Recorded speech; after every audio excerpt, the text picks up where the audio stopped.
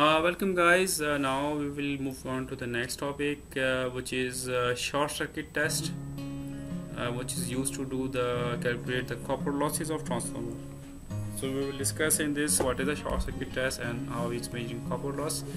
The short circuit test of transformer is the one of type test by which we can measure the full load copper loss of the transformer for testing the short circuit current test all meters ammeters, wattmeters and voltmeters are connected to high voltage winding and the low voltage winding is short circuited which is shown in figure and show you now.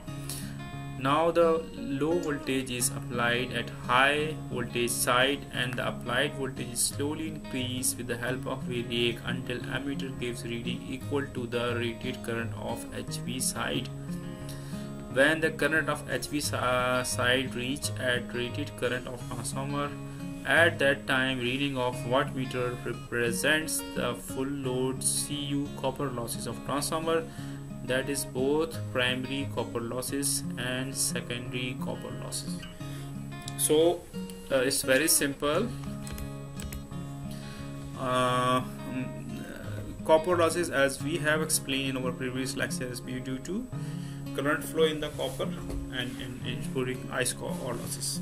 So transformer is producing I square R losses uh, at HV winding and also in the LV winding. So in this test what we are doing we are short circuiting here you can see the low voltage side we are short circuiting through conductor and this red color is shorted and this is the voltage side. The high voltage side is in blue color. We will connect here variable source. Connect one voltmeter wattmeter and ammeter. Gradually we will increase the current. Or increase the voltage. And and check the uh, current in the ampere meter when this current will be reaching rated current of the HV side of the transformer we will stop and take the reading. But this reading will be sum of you have to remember copper losses in HV side plus copper losses of LV side. Okay now we describe why the wattmeter represents the total full load CU losses of transformer only not represent the core losses. This is a question. Uh, now we have done this test and they should be core, uh, uh, core losses also. But no it has only the copper losses. As applied Uh, voltage is quite small usually 5 to 10 percent of norm normal voltage compared to this rated primary voltage of the transformer and the core losses of transformer is directly proportional to the applied voltage. So the core losses are very small negligible. That can be taken negligible here. Let the reading of ammeter is 1 I1 which is rated current of HV winding. At that time the voltmeter reading is V1 which is quite small uh, compared to rated primary voltage transformer. And that wattmeter reading is W which is full load. Copper loss of transformer the equivalent circuit diagram of transformer under short circuit condition is shown. So before proceeding to that diagram I will ask a question now. Answer already I have read it that uh, why in the short circuit test we are shorting LV side and apply voltage on HV side. Why we are not shorting HV side and apply voltage on LV side? So again why? So the answer is because if you apply voltage on LV side, HV side will be higher voltages and there will be more induced voltages and then uh, the core loss will be uh, more so it will increase, increase the error. So always the voltage are applied on HV side and LV is shorted. So this is how the things work. And also the second uh, thing is uh, uh, here the step if you increase a small step there will be a big change on HV side. So uh, sensitivity is is is higher. Here the sensitivity of increased voltage is, is is lower. So this is another aspect okay short circuit test circuit diagram. This is the circuit diagram. This is apply voltage. Here is the short circuit. Here you can see resistance R1 X1 R2 X2 okay now they are combining both resistance and this is a short so it is it is having the complete resistance of both uh, primary and uh, secondary windings.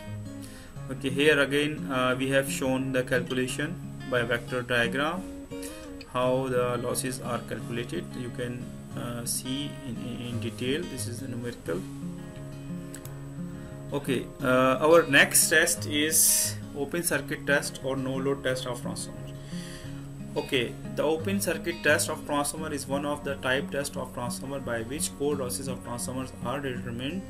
In this test normal voltage is applied on the low voltage side at rated frequency and high voltage is a open condition that means there is no load in the transformer. At that time reading of wattmeter connected on the low voltage side gives no load losses or core losses of transformer and no load impedance of transformer. So open circuit test is giving two uh, output of open circuit two parameters. One is uh, core losses and another parameter that we will get low load impedance of transformer. So how this we are going to test it? This is the low voltage side high voltage side. You will keep it open and you will keep on applying voltage. You will see the current here and you will see the wattmeter here and you can get the open circuit uh, reading very easily for measuring the open circuit test the high voltage winding is left open. A wattmeter a voltmeter and ammeter are connected in uh, in the another winding. That is low voltage winding of the transformer. The connection of wattmeter voltmeter and ammeter are shown in the figure.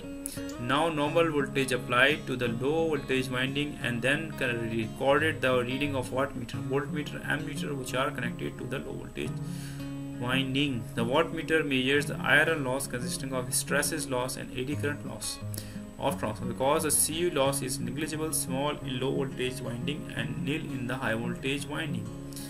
No load condition. The ammeter measures the no load current I naught which is small 2 to 10 percent of rated current the voltage measured the normal voltage which is applied in the low voltage winding okay question number one. Why are copper losses negligible in open circuit test?